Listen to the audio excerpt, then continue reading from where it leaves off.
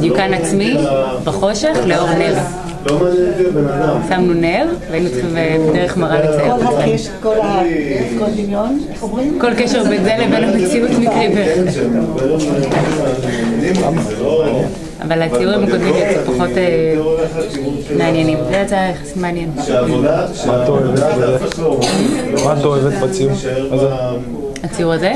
בשלב של הקטרזיס. אני אוהבת שמתוך צבעים שלא באמת אה, מופיעים בפנים אנושיות, אפשר לראות פנים. כלומר, זה- זה מגניב שזה לא בצבע עור וזה לא... אבל מצליחים לראות יש את לי ה... קבוצת נשים שאני פנים. במסגרת של מלגה של משרד התרבות.